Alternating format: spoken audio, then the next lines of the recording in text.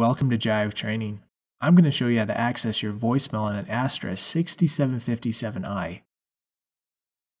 This can be accomplished by pressing star 99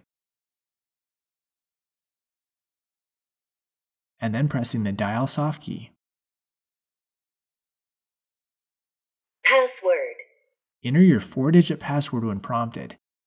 Now, if you've never created a password, the default is 0000.